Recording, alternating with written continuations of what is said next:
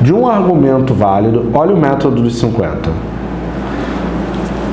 Método dos 50 na veia. Sabe-se que suas premissas são se a investigação é feita, ó, foca no conectivo, se a investigação é feita adequadamente e as provas são consistentes, então é certo que o réu será condenado.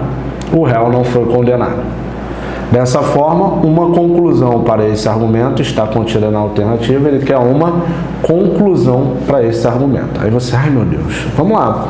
Argumento, galera, é uma parte que a VUNESP adora, adora mesmo.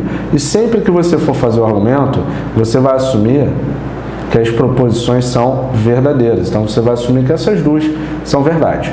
E aí, você tem que ter na sua mente a tabuada lógica dos conectivos. Nesse caso, do conectivo se então e do e, tá? Eu vou escrever aqui a tabuada lógica do se então aqui em cima. A tabuada lógica do se então diz que aí tem um macete, né? A Vera Fischer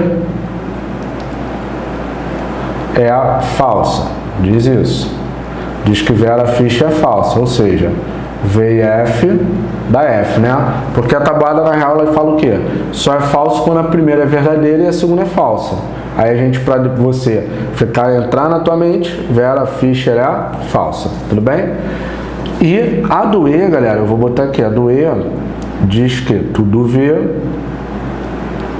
dá V, ou seja, o E só é verdadeiro quando tudo é verdadeiro, caso contrário ele é falso, tá bom? O E só é verdadeiro quando tudo é verdadeiro, caso contrário ele é falso. Beleza até aí. Agora vamos lá, vamos começar. O réu não foi condenado é verdadeiro, tá aqui, ó. O réu não foi condenado é verdadeiro. Então eu tenho que buscar lá em cima onde tem falando sobre o réu. Aqui tá, ó. É certo que o réu será condenado. Cara, o réu não foi condenado é verdadeiro. Então o réu será condenado é falso. Então aqui é falso. O réu será condenado é falso. Show? E aí, galera, o que que acontece? Você tem essa proposição toda aqui, ó. Na frente, né? As provas são consistentes. Galera, se você tem o C então na parada, nas questões de argumentação, você o resultado é verdadeiro, não é? Nas questões de argumentação, você tem o C então. Entenda isso que tu vai fazer com o pé nas costas. Nas questões de argumentação, você tem o resultado que é verdadeiro. Se você tem o C então na parada, você nunca pode ter a Vera Ficha. Nunca. Por que nunca pode ter a Vera Ficha?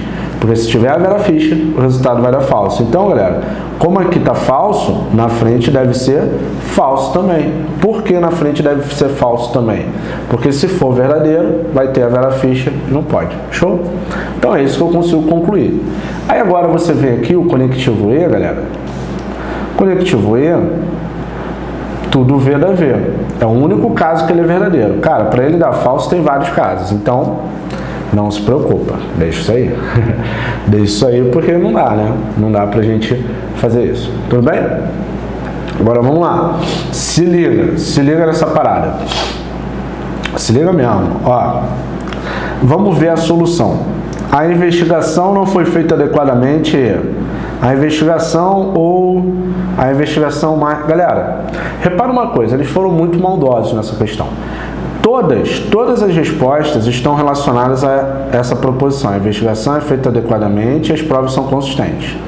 E aí eu vou te dar um super poder, uma maldade aqui absurda. Que maldade absurda é essa, galera? Quando ele fala que a investigação é feita adequadamente, as provas são consistentes, e ele está pedindo a resposta, ele falou que isso aqui é falso, não falou? Então, o que é a verdade? A sua negação. Então, qual é o bizu? Você vai negar essa parada aqui, ó. A investigação é feita adequadamente. Vai ficar a investigação. Investigação, a investigação não é feita adequadamente.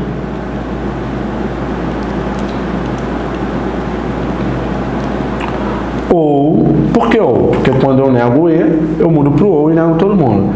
As provas são consistentes. As provas, deixa eu ver aqui o número retorno, tá? Tá na frente. As provas não são consistentes, né?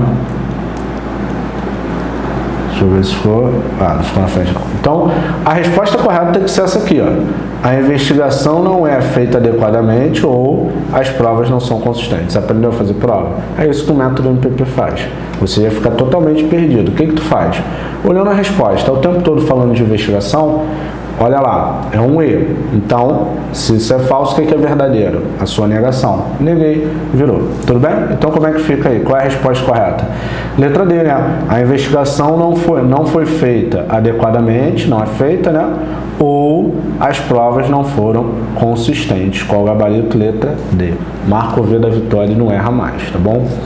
Opa, gostou dessa dica? Se você vai fazer o concurso da Polícia Civil São Paulo e quer aprender raciocínio lógico para gabaritar e passar nesse concurso, então faça sua matrícula agora no nosso curso completo de raciocínio lógico para a Polícia Civil São Paulo. Mais de 300 questões resolvidas, tira dúvida, teve dúvida na aula, pode enviar, tira dúvida abaixo de cada aula para você detonar e passar nesse concurso. Porque você sabendo raciocínio lógico, você vai ficar na frente de muitos candidatos que não vão estudar. Você mesmo provavelmente já deixou de fazer alguma prova porque tinha raciocínio lógico ou matemática. Agora chegou a hora de mudar. Se você quer passar no concurso da Polícia Civil São Paulo, não tem jeito. Clica aqui embaixo, faça sua matrícula no nosso curso para a Polícia Civil São Paulo e eu tô te aguardando nas aulas do curso, beleza? Tamo junto e pra cima deles até as aulas do curso da PCSP para você gabaritar. Até lá!